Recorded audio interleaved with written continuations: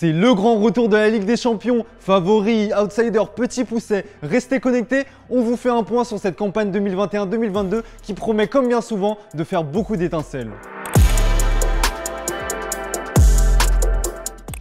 Bonjour à tous et bienvenue dans ce nouveau JT Foot Mercato. Chelsea, le dernier vainqueur de la Ligue des Champions, risque de devoir batailler fort pour conserver son titre car les candidats sont nombreux et le PSG de Léo Messi fait office de grand favori.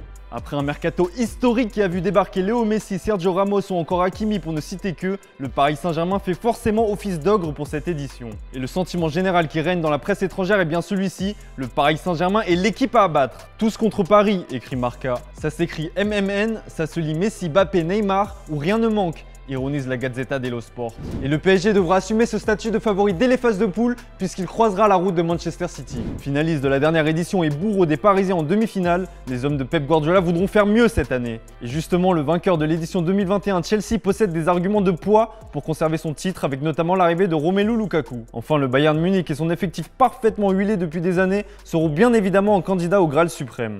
Mais vous le savez, ce statut de favori ne veut pas dire grand chose, surtout dans cette compétition, ça peut même jouer de mauvais tours et certains outsiders seront contents de s'enlever cette pression supplémentaire. Parmi les outsiders de la compétition qui auraient probablement pu avoir leur place dans la catégorie d'au-dessus en raison de leur glorieux passé, on retrouve le Real Madrid, demi-finaliste de la dernière édition. La présence du club madrilène 13 fois champion d'Europe peut étonner, mais s'explique par la perte de certains éléments, et notamment celle de sa charnière centrale Ramos-Varane. L'Atlético de Madrid est également présent et devra avoir une belle carte à jouer avec son recrutement très intéressant, marqué par le retour d'Antoine Griezmann. Le Manchester United de Cristiano Ronaldo devrait également jouer les troubles faite, au même titre que Liverpool, le FC Barcelone et la Juventus malgré un effectif moins impressionnant que sur les dernières années. Si certains ont l'ambition, voire même l'obligation de remporter la plus prestigieuse des compétitions européennes, d'autres se contenteront de faire bonne figure, c'est notamment le cas des petits poussets.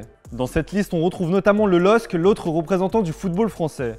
Les Dogs tenteront de faire mieux, beaucoup mieux que la saison 2019-2020 qui les ont vus terminer bon dernier de leur groupe.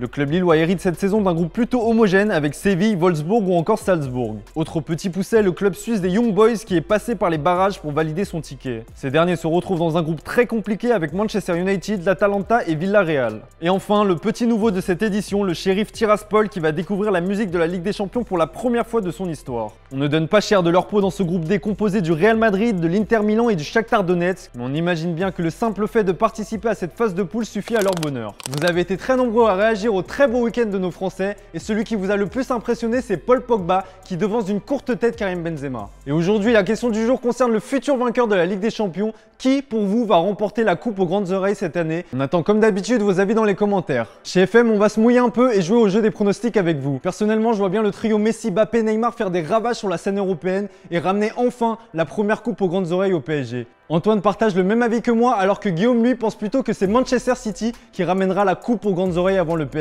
En bonus, on vous invite également à nous donner votre pronostic pour le gros match de ce soir entre le FC Barcelone et le Bayern Munich. Selon vous, le Barça parviendra-t-il à effacer le douloureux souvenir du 8-2 qui reste encore dans la tête de tous les supporters barcelonais? De notre côté, on voit tous la machine bavaroise terrasser de nouveau le Barça de Memphis de paille.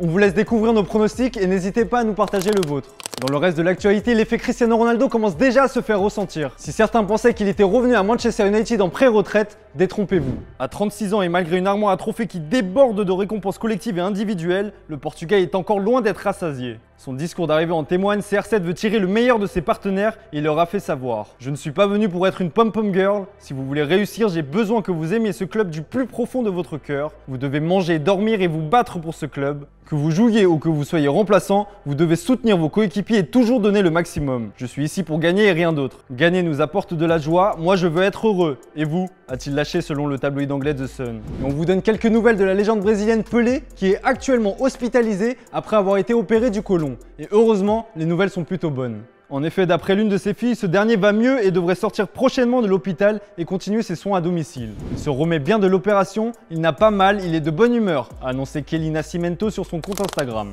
Voilà, c'est tout pour aujourd'hui. Merci pour votre fidélité. On se retrouve dès demain pour un nouveau JT Foot Mercato.